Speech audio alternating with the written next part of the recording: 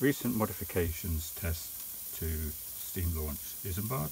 The 12 inch vertical southwest pump, I've added a displacement lubricator and also a drain cock to the steam chest.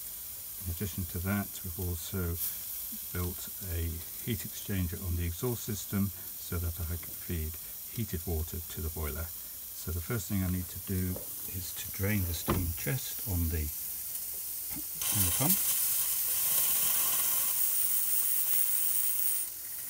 And now I should be able to open up the pump and it will come to life, which is what it wasn't doing before.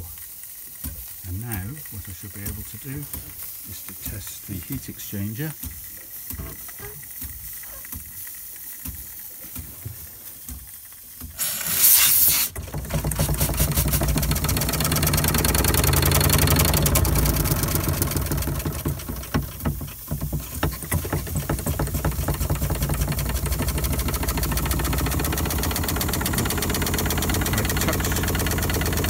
I